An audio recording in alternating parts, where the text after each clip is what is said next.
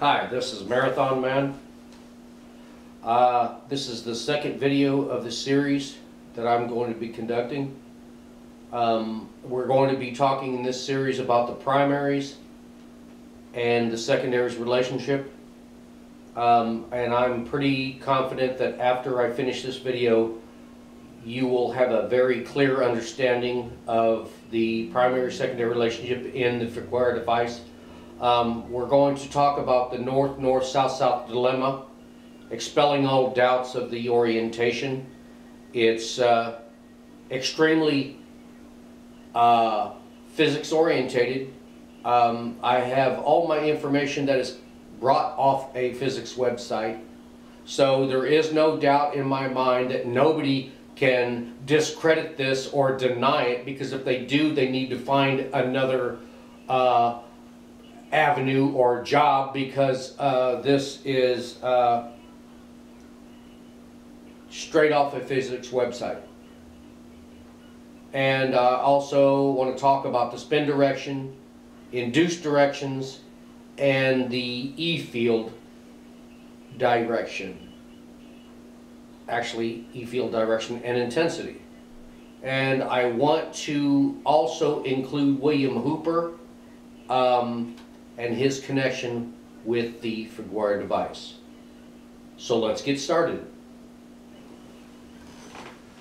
All right, here we go. The camera's a little shaky, but uh, it is what it is. I don't have anybody helping me. All right, the induced magnetic field is upward to oppose the flux change. To produce this induced field, the induced current must be counterclockwise as seen from above, above the loop looking down. Here's the magnet coming in. Here's the induced.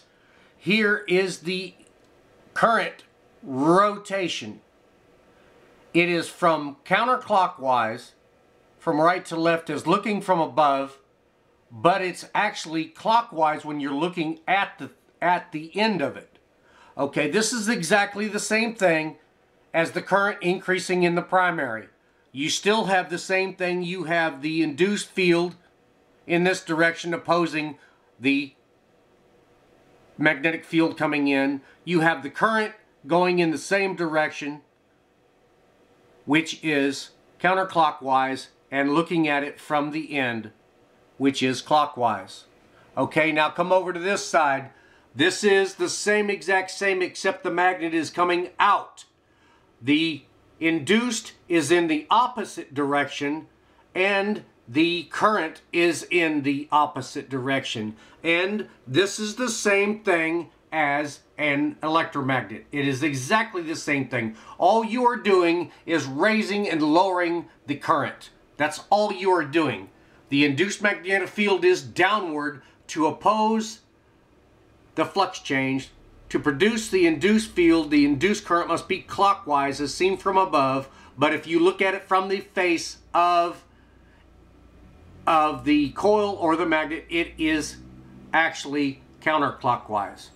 Okay, both B fields are opposing, but induced are in the same direction, causing a double motional electric field as opposed to one electromagnet alone.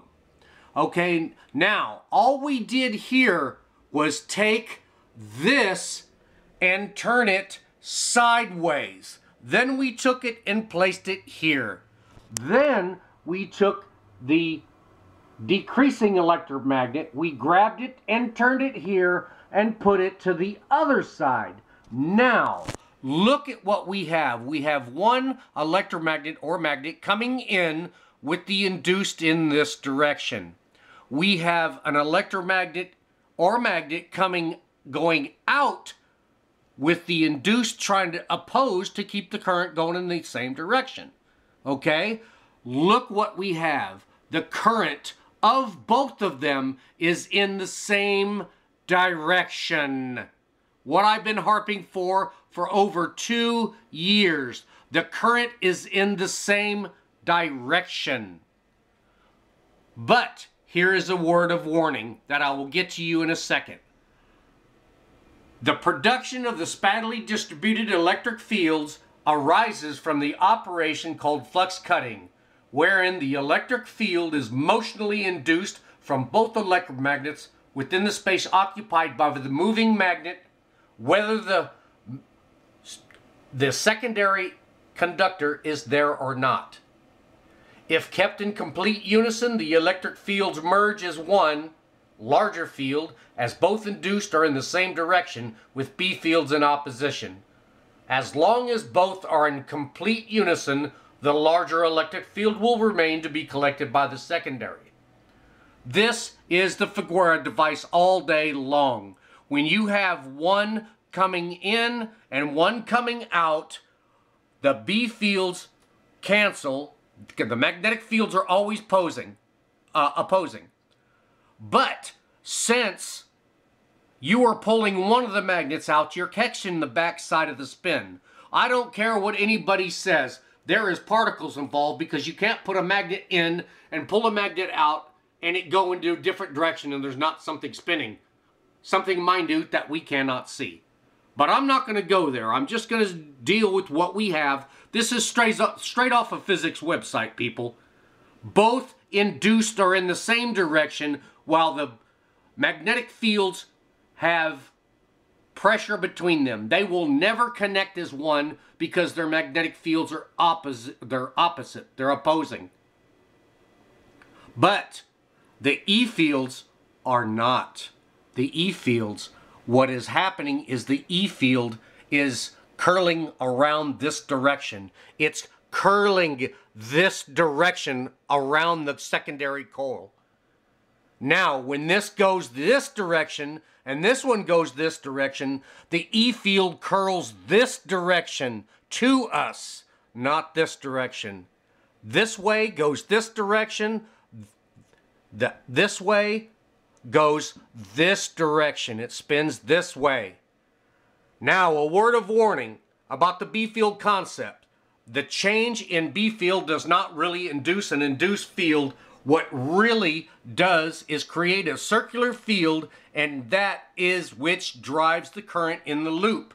The induced B field is a fictional construct which makes it easier to figure out the direction of the current. Now, this is the Figuera device all day long and I will talk about why NS cannot be used in any way, shape, or form in the Figuera device. And here you have a north-south orientation that cannot take place, will not take place ever in a Figuera device. Here you have a north magnet coming in, you have the opposition to the magnetic field coming in, right? This is the induced. The induced is in this direction, same thing as before. Here you have the current flowing in this direction. Now, let's look at the south magnet. A south magnet going out will have an induced in this direction. Did you notice it's opposite of the north magnet coming in? Wow, imagine that. Now let's look at the induced. The induced is this direction and in this direction. What are those two signs? They're opposite from each other. It can't happen, folks. A north and a south magnet in a Figuera device will not happen because they try to combine. Why? Because both their B fields are in this direction. They're not opposing. Both uh, B fields are this direction and the both currents are opposing. And because of, ah, uh, what's his name? I can't remember his name.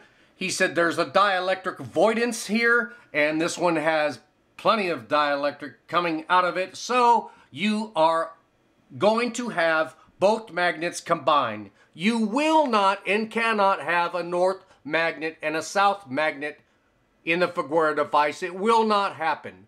What you have, according to um, Walter Russell, is the way that we wind our coils, we automatically lose 50, 50% to um, magnetism from the way we wind our coils. So automatically, this is already reduced to 50%. Plus, you have this one fighting it. And you're reducing this one to 50% in the Figuera device. You never go below 50%, otherwise you'll lose induction from one of the electromagnets. And that's what you don't want to do. So automatically you're losing 50%. Okay, 50% from starting for 50%, you minus 50% from that, you have 25%. So by using a north-south magnet, you will get 25% out of the device might from 100%. It cannot happen. With both devices being NN, both electromagnets, you will attain your 100% E field back again. That's what I've been trying to say for two frickin' years. Both fields are opposing. The currents are opposing. That is why you cannot and will never have a north-south magnet in the Figuera device. And here's another one of my graphs that I posted almost two years ago. This is exactly the previous uh, depiction of what I was trying to show people. It shows the induced, both of them in the same direction, but B fields opposing. One is increasing, one is decreasing. What it causes is a double E field because both are induced. They complement one, one another. Both of them are in the same direction. And then when you put it the other direction, taking this one, decreasing this one, increasing this one, your B fields are still opposing, but your induced is in the other direction. This is exactly what I've been harping on for over two years, people. The double motional electric field. You get double the intensity because both of them are additive. You can't do that with the north and south face magnet. It will not ever take place because the induced, induced are in two different directions and the B fields are in the same direction. It will cause them to snap together and it will not happen. They tr always try to fight to, to come together. With the north-north setup, it won't happen, but you're catching the backside of the spin of one while you're decreasing it, which causes the reverse E field. They both are together, people. And this graph right here is well over two, oh, right at two years old. Two independent primary magnetic fields occupying the same relative space in space, operating in complete unison. One increasing, the other decreasing, will cause the formation of one large E field as both inductance are in the same direction, complementing one another. Y coil, or rather the secondary, is there to collect the electric field. In the two patents can be seen how ingenious, ingeniously and mechanical methods the engineer tried to generate the electric electrical energy inside a coil by varying the flow of two opposite and opposing magnetic fields, trying to get into the machine the same character, characteristic behavior as a conventional generator but without moving parts. Fellas, he did it. He had this working in his device. It might have been his 1902 patent, but he redefined it. The 1908 patent was his glory, but he died a couple of months later. But that's okay because Clemente Figuera, this is Clemente Figuera all day long. Clemente Figuera had this device working in his house, people. And I just showed you the physics involved. There you have it. And here we go with William Hooper. William Hooper did a tabletop experiment that proved the validity of the Figuera device. And how do we know? Because he did a simple lecture table demonstration in front of a crowd of people multiple times and proved the validity of the Figuera device. Why is this just like the Figuera device? Because you have one electromagnet or magnet coming in with the spin direction in this direction. You have one electromagnet coming out with an opposite spin direction. It is just like the Figuera device. The only difference is the electromagnets are turned this way. You can actually do this with the magnets and test it turn the magnets this way, turn this one this way, and get the same exact results. You can even do it with two electromagnets on at the same time and vary them back and forth on a stick. You get the same output. you have two sources of B and V. One BV, one minus BV. It's the same thing as the Clement-Figuera vice.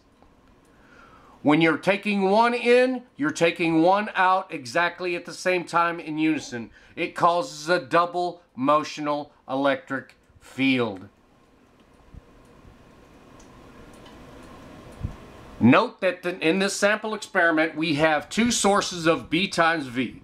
Both the B and the V of each source are identical in magnitude but opposite in direction. Therefore, since B times V equals minus B times minus V, the products are both positive and additive. The movement of one magnet alone will be found to yield a galvanometer deflection of half that attained by both magnets are moved when both magnets are moved simultaneously. Note that the wire is always in a region where B equals zero, but where B times V is present and active. Folks, this is this is straight up Clemente Figuera's Figuera device all day long. Now, I may not agree with his patent that he had. I think it's entirely different from this, but he just did this to prove a point, and this is exactly the Figueroa device all day long. Whether anybody likes it or not, look at it. It's exactly Figuera device. That's why I included William Hooper in it, because it is the Figuera device. It's the same thing is happening in the Figuera device is happening in William Hooper's tabletop lecture demonstration. Hi, this is Marathon Man again. I hope you've enjoyed this uh, video. Uh, I hope in your mind that I've proven without a doubt uh, that it's north-north face in the Clemente Figuera device and also um, cleared a few things when it comes to spin direction and induced direction. Um, I wanted to add uh, some more in the video uh, about the um, primary and secondary interactions, but I think I'll save that for another video and, and keep that just for one video alone. Um, I guess this will close out this video and I hope everyone's enjoyed it and learned something from it. And uh, until next time, happy Figuering.